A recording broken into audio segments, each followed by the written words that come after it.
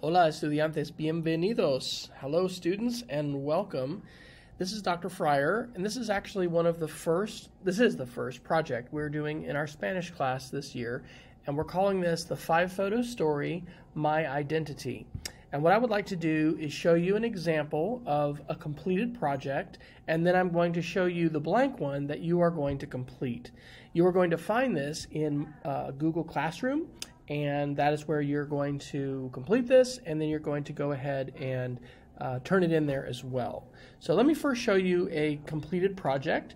Um, this is an example of a five photo story project. And so as the name implies, it is simply five pictures. Uh, for this particular part of the project, you don't need to be recording your voice or adding anything else. Um, but this is going to do several different things for us. In addition to helping us learn a little bit more about each other, it's also going to provide us with some pictures that we're going to be using in some other projects that we're going to be talking about and we're going to be using language around. So this is my first picture. These are Willow, or not Willow, Willow was our former dog. This is Moose and Scarlet.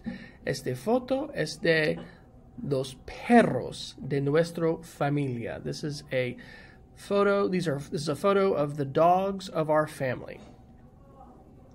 Mi segundo foto, the second photograph, eso es mi familia. This is my family. Mi esposa, que se llama Shelly, that is my wife Shelly, y, nues, y los hijos de nosotros, the children that we have. Uh, nuestros hijos se llaman Rachel, Sarah, and Alexander.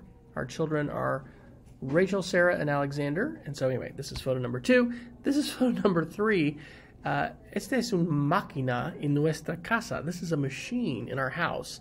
Uh, es, es un aire acondicionado. El aire acondicionado. It's the air conditioner, and this is a, a, a condenser. Uh, and so, anyway, this is something I learned to replace. The condenser, este um, artículo se cuesta 13 dólares. it cost $13. Uh, it was great. A friend of ours helped us this summer. This is picture number four. Me gusta el carne. Me gusta cocinar. I like to cook. Uh, and so um, this is a picture of some pork chops that I was cooking. Este carne es puerco. This is pork. This meat is pork. Y la última foto, the last picture, es mi esposa, que se llama Mrs. Fryer. Y ese es un parte especial de un pared famoso. That is a part of a wall that is very famous. Uh, it is from Germany, de Alemania. It's part of the Berlin Wall. So my wife was a teacher in Germany, and that is a famous uh, piece of history that she has. So that is it. That that is just a slideshow that has five different pictures. You don't have to use pictures of yourself in this. Um, you can find pictures um, from other places, and that's what I'm going to show you how to do right now. So, this is an example of the slideshow that you're going to open. That uh, you're going to go ahead and edit this. You're going to put your name in it. And what I'd like you to do on slide number two is I'd like you to list um, five or more things that you like or enjoy. Okay? And then you're going to find pictures to put here on slides three through six, I guess, or it's more than that actually. It's slides three through eight because um, there's a cover slide and this is the second slide. And so uh, your steps are going to be listing things that you like, that you enjoy, or they help define you, and then you're simply going to be putting pictures here. Now, the website we're going to use is called Unsplash, and so let's say you're a dog lover, maybe you like golden retrievers.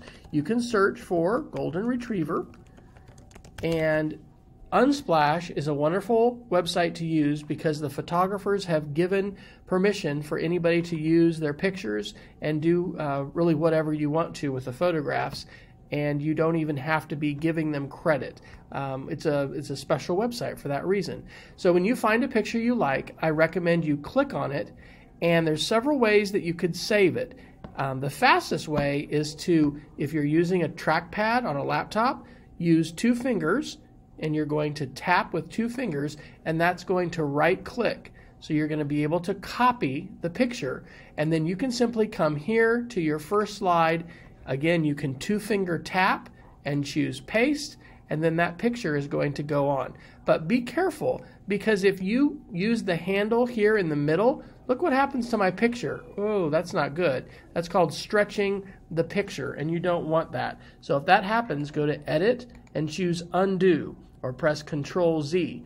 What you want to do instead is drag the corner like that so that the, the picture stays in proportion. And I recommend making that picture as large as you can, and you can just put that in the center of your slide, and voila, I am done with picture number one. Okay, so you're going to go ahead and do that same process on each of your slides until you have five photos that are about you. And when you're done with that, you're going to go ahead and turn it in.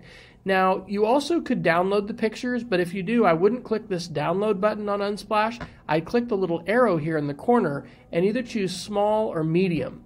And that way you're not going to have such a tremendously large uh, picture. The original pictures here are really, really big. But Unsplash is a great website to use, and we'll be using that for different projects during our class this year. So um, I hope this is helpful to you. If you have questions, let me know, and I look forward to seeing your five photo stories and learning more about your identity.